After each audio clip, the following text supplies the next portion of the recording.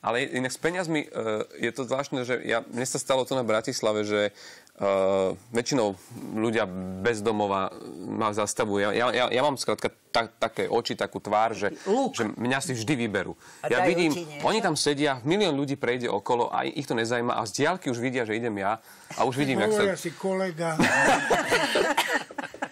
To je náš. Áno.